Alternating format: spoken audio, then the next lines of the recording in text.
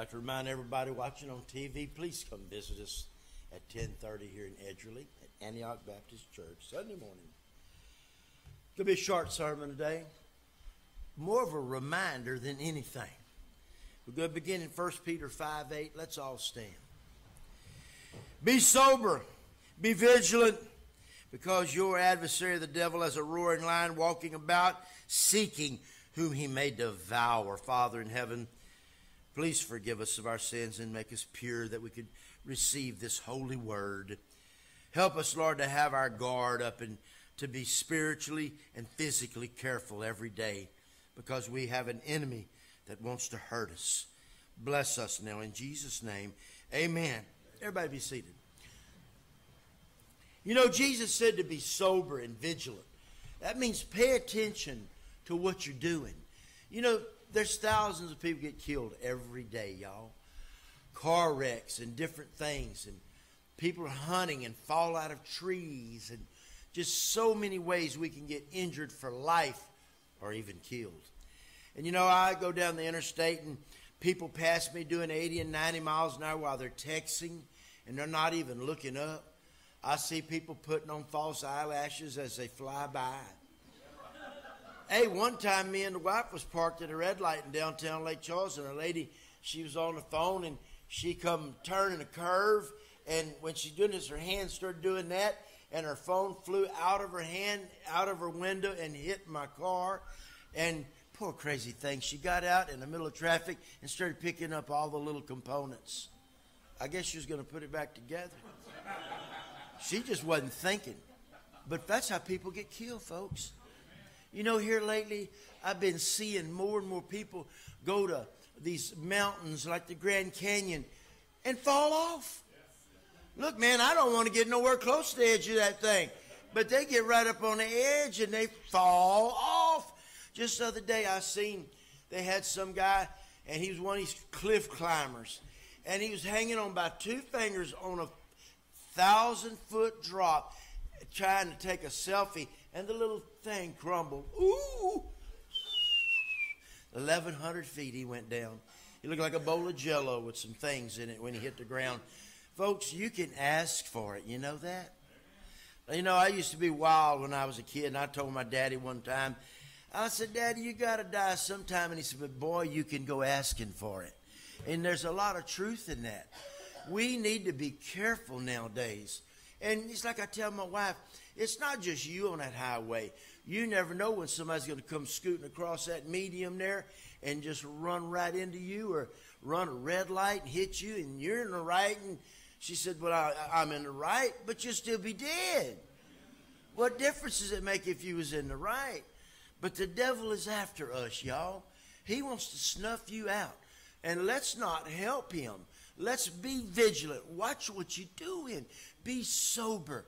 Don't put your hair dryer by your bathtub or, or do something dumb like that. You know what I'm saying? How many of us have got burnt light in a barbecue pit? You know? I mean, we just need to be careful because he truly is a lion roaring. And what they mean by that, when a lion is hunting, he walks along going, ah, ah, oh, this is going to be delicious. Mm. That's what he's thinking. Well, we don't want to be on his menu. Amen? So let's be careful. You know, and this is something for you and I to really, really think about. In 2 Timothy 3 1, this know also that in the last days perilous times shall come. Folks, that's where we're at. You know, there was a time when you fall off your horse and break your neck, or walk across the street and Dodge City in a covered wagon and run over you. But now, folks, we're falling out of the sky in airplanes and twisted masses of burning metal. Nowadays, we're zooming up and down the highway night and day at 90 and 80 miles an hour. Today, there's so much peril. We've got diseases galore. And they tell me with this homeless epidemic in San Francisco, they've got bubonic plague sprouting its wings once again. Oh man, that's a bad thing. We've got new forms of tuberculosis that medication won't fight. We've got Ebola virus. We've got AIDS. We've got so many deadly things nowadays. We need to be on our toes, y'all, because we're living in the last days and there are perilous times. But you know, in Luke 11 4, Jesus, he says a, a prayer. And he says, Forgive us of our sins, for we also forgive everyone that indebted to us. And lead us not into temptation, but deliver us from evil. Every day, every night, when you put your head on that pillow, you should say, Lord, please keep me from being tempted by the devil and deliver me from the evil that's out there in that world. You know, I've had so many close calls throughout my life, accidentally pulling out in front of an 18 wheeler or something and just just miss you and you realize how close you came, you know. Uh, I know over there in New Iberia come sugarcane season, man. You stop at every one of them stop signs and you make sure there's not a truck coming because they're trying to get that sugarcane to the to the grinding place and they're wide open, man, and it'd mash you flat. Yeah, I tell you what, but every day we ought to get up and say, Lord, I'm fixing to get in my car and go to work. It's foggy, slippery, raining, icy, whatever. A road full of cuckoos. God, protect me as I travel. We ought to always pray, keep us from evil. Galatians 1 4 says, talking about our Jesus, that he gave himself for our sins, that he might deliver us from this present evil world, according to the will of our Father. You know, so God don't want you snuffed out. God wants you to live a good, fruitful life, so when you go to heaven, you've got your full conditioning. You know, a lot of people don't make it through boot camp. They get susceptible to sinuses or something or allergies. Sometimes they'll break a knee. They don't get to finish boot camp, you know. Oh, they get to stay in the military, but it, it's going to be a desk job. But you know what? Most people want to be a full fledged soldier. And I know in God's army, we want to be all that we can be for God. So we want to live a good, long, healthy life, learning, experiencing, and seeing things, avoiding evil. Live your full life to your full potential because that's what God wants you to do. The Bible says He came to give you eternal life, and He wants this one to be a good one as well. But you know, I'll tell you, folks, 2 Timothy 4.18, just listen. And the Lord shall deliver me from every evil work. He will preserve me unto his heavenly kingdom, to whom be the glory forever and ever. Amen. You know something? Again, God's preserving me. A lot of times I should have been snake bit, and the snake just didn't bite me. I remember snake bit Trav when we was kids, a big old snake, and it didn't hurt him at all. We got to the doctor, and the doctor said it must have just bit something and used all its poison or something because it didn't hurt him. It didn't let go neither. He took off running across the field with that big old cobra latched onto his arm. And when he run through a barbed wire fence, the snake didn't make the wire. But, uh, you know, we just thought he was a goner for sure. I remember when he was a real little little fella, his brother was mean. We had a big old tractor with water in the tires. You know, you used to put water in the tires to make them heavy. And Michael run right over his little belly. He wasn't no bigger than a Jacksonite. Run right over his belly, man. I'll tell you what, God was with us when we were children. You might not realize it, but He was with us. There was so many times. I remember when I was six years old, my daddy was going down the highway and I was dozing off in an old 39 Ford pickup truck. And the old man told me, he said, Boy, roll up that window. And I was asleep, man. I opened the door and fell out on the highway. And the first thing hit the road was my forehead. Knocked me out colder than a frog, man. But again, God was always with us. And you know something? We need to thank God for that. Because how many times did you almost get killed and didn't even know it? You know, I think about that a lot. That you didn't even realize it. But God intervened and stepped you, stopped you from getting killed. And don't get me wrong, sometimes we're ready to go home. That's a different story. I'm talking about a premature departure on our stupidity or something like that. We must try to avoid that and live our lives to the fullest for God and give God the amen because He's preserving us every day, and sometimes we don't even know it. You know, in Job 1 5, this is what I try to do for my family and you as well. I pray every day when I get up for everybody. At night when I go to bed, I pray for my children and all of you. And Job 1 5, and it was so when the days of their feasting were come about that Job sent and sanctified them, his children. He rose up early in the morning, got up in the morning. That was the first thing he did.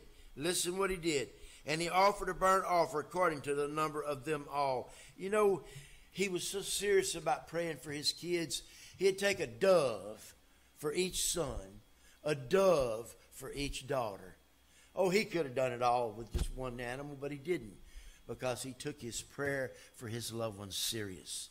And he had taken, cut that little dove's head off. That's how they did it. The soul went back to God, and he'd pour that blood out on the mercy seat and say, God, I give you this life from my daughter's life. Please forgive them and protect them. Then he'd do another one. I do this for my son's life and for his sin. He was very conscious of his children. And you know, folks, we know that he got a special reward. We look at it as God cursed him. No, no. That ordeal he went through, you and I can't, that's beyond our realm of reasoning. But that was a great thing God done for, for old Job by plaguing him and taking his children because they got a place in heaven right now that we're going to be like at Christmas time, go ride by his house and look at it. You know what I mean? But I'm going to tell you something. Job prayed for his family every day. And folks, it's so important you and I do that. We not only should pray for our mamas and daddies if they're still alive, and if they're not, thank God you had them for as long as you did. But we need to pray for our children and our grandchildren that God would protect them spiritually, physically, and mentally. And be sincere about your prayer. And never fail. Continue to do it every day. And God will bless them and protect them for your sake. You know, it's just like when the devil approached God about Job. You know, Job said, the devil said, Job's got all that stuff, and that's why he serves you. And God said, No. He served me before I gave him all them blessings. And the devil said something very peculiar. Well, I'm not going to fool with him because you and I both know you've got a hedge around him on every side. Well, you know what, folks? I want God to have that hedge on me on every side. You know, if you have any farm animals, even a dog, you put up a fence. If you got chickens and you don't have a fence, it won't be long before the neighborhood dog eats all your chickens. But not only that, your dog will go out in the road and get hit because he don't know no better. That fence works both ways. And I want God to put a hedge around me that not only keeps the booger man out, but keeps me in. Because I'm just a human. I might want to go somewhere that's dangerous and don't realize it, or, or, or do something that I shouldn't do and get myself hurt, you know? I've got to watch my wife all the time because we go on vacation. She wants to get on these zip lines and, and all that. And I tell her, hey, look at them guys hooking that stuff up. Look at them good. You want to get on there knowing they put that together? I guarantee you could write their name and give it to them, and they wouldn't know what it was, you know? And here we are 100 foot off the ground. I'm not ziplining anything, you hear me? And I don't think anybody, if you're not in the military, anybody jumps out of a perfectly good running airplane, you got something wrong with you. I don't want to do that. I don't want to float down with a parachute. And if the motor quits or the plane's on fire, that's fine. But I'm not going to jump out of that airplane as long as it's running good and it's not burning. But I'm just saying that sometimes we take our lives for granted. And young people, when you start doing dope and stuff, you don't realize it, but you're playing Russian roulette with your whole body. And when we start abusing ourselves with alcohol and, and drugs and chemicals and things, we don't realize that we're hurting ourselves and we're driving ourselves to an early grave. That's what the devil wants you to do, to self-destruct. And we're not made to be self-destructive. We're made to be productive. Amen? But you know, he prayed for his family. And I'm going to tell you the attitude you and I should have. And I know we do lose loved ones continually. But we have to. That's God's program. But as long as I said, as long as it's in God's will, that's wonderful, whether we realize it or not. But we need to stop worrying about tomorrow. I know people that worry constantly they're going to get cancer. I know people that are worried constantly they're going to send a nuclear bomb over here and incinerate us. Well, it might happen, but you worrying about it is not going to change a thing. And this Bible tells me in Romans 8:31, what shall we say to these things? If God be for us, then who could be against us? And you know, folks, it's so true. I can't stop them from sending a nuclear bomb over here, but I can be right with God when it gets here. And I think you and I, we need to draw close to God. Don't leave Him out of nothing. You pray before you get up, you pray before you eat, you should pray before you take a drink of water. Everything we do, we ought to praise God for it. And you know, we'll sit down sometime with a piece of cheesecake and you start eating that, and every so often you catch yourself going, mmm. Well, don't go, mmm. Go, thank you, Jesus. I've made it a habit to do that. Instead of saying yummy, I say, thank you, God. We need to be grateful to Him because, tell you something, man, He is the provider. And we need to be close to God in everything we do. And don't be scared of diseases. Ask God to hedge you about. Don't be scared of bombs. Ask God to put a fence around you and your loved ones, and He'll do it. Here's the ticket right here in James 4 8. Draw nigh to God, and He will draw nigh to you. Cleanse your hands, you sinners, and purify your hearts, you double minded. Folks, we need to start getting on one side or the other. We need to either be totally for God or, we, or we're not. Because you can't ride the fence when it comes to God. We've got to be all the way in for Him. Don't be ashamed of God. Be a Christian with boldness. And like I said, don't be double minded. I know this world, they shame Christians and they try to make Christians look dumb. They're the dumb ones because they're stumbling off in eternity without God into eternal hellfire. We've got a Lord that loves and protects and guides us.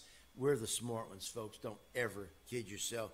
But we need to stop being double minded and start having God on our mind. We reject God so many times, especially America nowadays. Just ride around and look how many towns don't have a nativity scene anymore. Look how many schools will not allow them to sing good songs like Silent Night. Oh, they can sing Jingle Bells and, you know, stuff like that.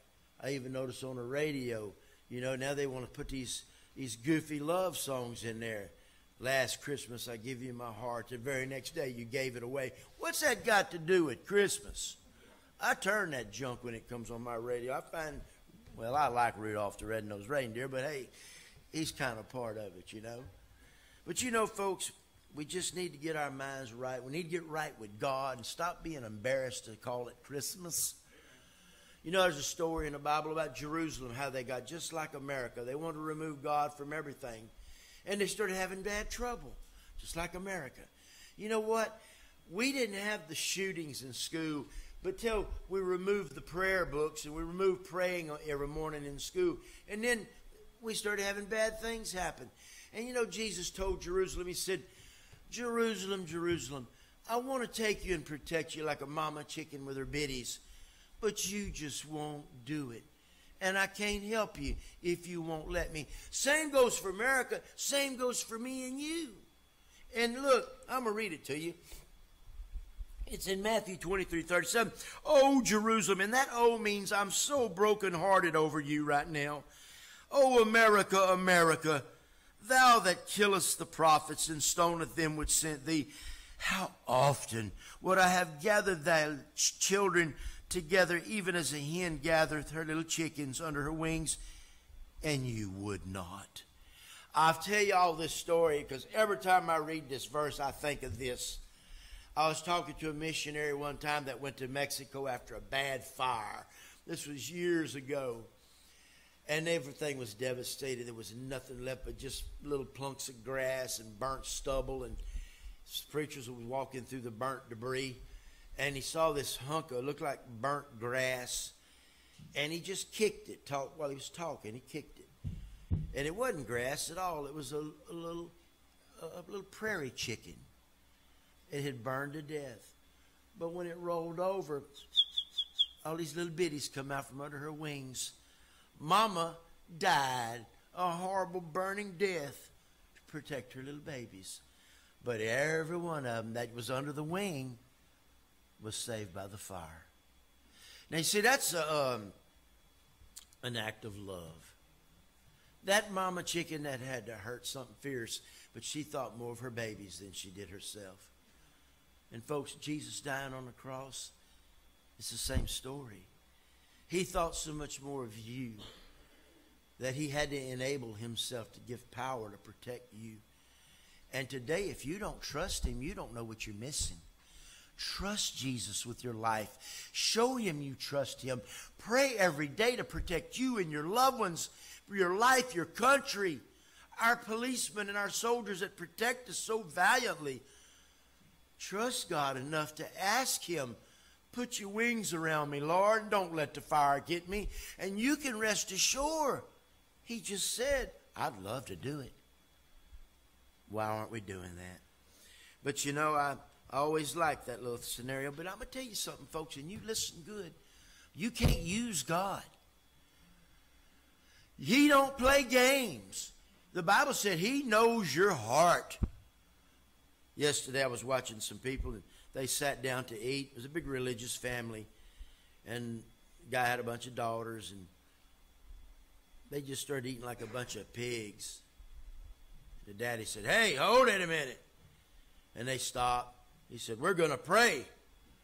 Well, the majority of them, they bowed their head and had a big jaw, looked like a little chipmunk with a mouthful of acorns. They bowed their head and they prayed. But there was a couple of the little ones, they kept right on eating. Oh, daddy ain't never said a word. If that had been mine, I'd have said, Hey, this goes for you too. Don't you disrespect God by eating while we're praying? You don't see a whole lot of that anymore. You don't see a lot of people that even pray anymore. But, folks, I want to tell you something. You can't use God.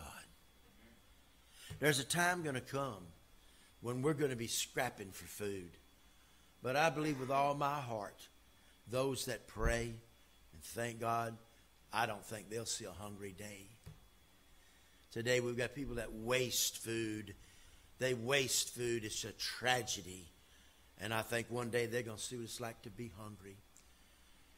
We should appreciate the food, the water, and the air we breathe. And we ought to be humble and thank God for it. But God is not mocked. And I want to read to you Galatians 6 7. Be not deceived. Don't kid yourself. God is not mocked. For whatsoever man soweth, that's what he's going to reap. Folks, you know something? The people that come to church every time the doors are open, you think God don't see that? He, he notes it. And whenever something happens to you, he says, Oh, that's the one that's in church every Sunday. Well, sure, I'm going to help them. They depend on me. And He's not going to let you down. If you depend on God, He will never let you down. I believe that but you can't use God. People get healed and they forget all about who He is. I know people that want to buy a new car. Well, they'll go to church for two or three Sundays till they get their new car, and they never go back. Man, God's not an idiot. God's not a fool. You love God, you serve God, and you praise God all the time. And when you need Him, He'll be there for you. But make sure you don't try to pull the wool over God's eyes because this will happen. Listen to this in Proverbs 128. Then shall they call upon me, but I will not answer. They shall seek me early, but they shall not find me. You know, you got a bad problem. You, oh, the minute you do, you get up and you pray. Well, whoa, whoa. Where was you at the last year? You didn't think about God. Now you got a problem. Talking about a layoff on a job, and now you want to pray. Folks, it don't work that way. You stay prayed up. You stay like this with God. Don't wait till you have a tragedy to expect God to come running. No, you already be there with Him. Be by His side. It's so important. But you know, y'all, I believe that America has been weakened. And one reason is because of our families. If you notice, there's so many families, they don't sit down and have supper together no more. Used to, mom and dad and the kids all sat down at the table together. So they knew where that blessing came from. Now the son's in there on a video game, the daughter's watching TV, daddy's reading the newspaper, and mama's griping because the house is dirty. They're all kind of, you know, and that's a shame, folks, because our family unit is what makes us strong. And you know something? Oh, Joshua, he had it right. This is how he said it in 24:15. If it seem evil to you to serve the Lord, well, then you need to choose this day whom you're going to serve. Whether the pagan gods which your father served, which were on the other side of the flood and drowned. I'm adding this. I'm I'm just finishing these for you. Or the, the pagan gods of the Amorites in whose land you took from them when we slaughtered them all. But listen, here's the line I'm going for. But as for me and my house, we will serve the Lord. And I think that everybody ought to have that pledge, and we ought to all say that, and we ought to mean it. I don't know what my neighbor's going to do, but as for me and my house, we're going to serve God under this roof. If you're going to live in my house, you're going to respect God, and we're going to pray, and we're going to eat at the same time, and we're going to have a family unit because that's how God intends it. We've lost a lot of strength in our country because of that. Nowadays, you watch commercials and well, they try their best to make single households, and it's just it's not right. But you know what? I'm not afraid, and I can honestly stand here and tell you that I don't want to die, and I do kind of worry about how I might die. I wouldn't want to burn to death in a car with the door locked or something like that, and people do. But I'm not afraid to die because I know where I'm going. And that's why this verse is here in Hebrews 13 6. So that we may boldly say, The Lord is my helper, and I will not fear what man can do unto me. I don't fear what disease that they're going to bring next. I don't fear the bombs that might be lobbed. I fear God. And I live for Him and I trust in Him.